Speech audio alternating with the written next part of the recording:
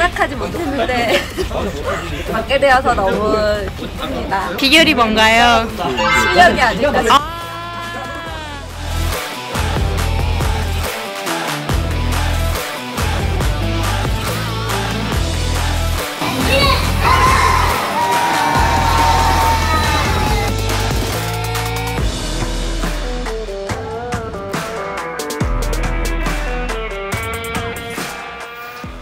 아 저는 그 인기 투표 할 때마다 한 3등, 2등을 맨날 반복듣게 해가지고. 실력으로 보나? 뭐로 보나? 기여도 팀 기여도 팀의 조장. 누가 봐도 내가 받아야 되는데. 다음에는 1위 할 수 있을까요? 아 이제 끝난 것 같습니다.